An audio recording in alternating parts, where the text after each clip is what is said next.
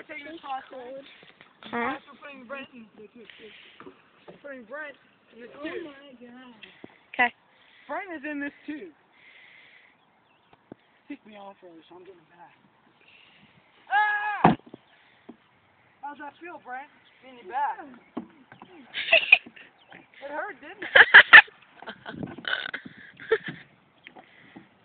it?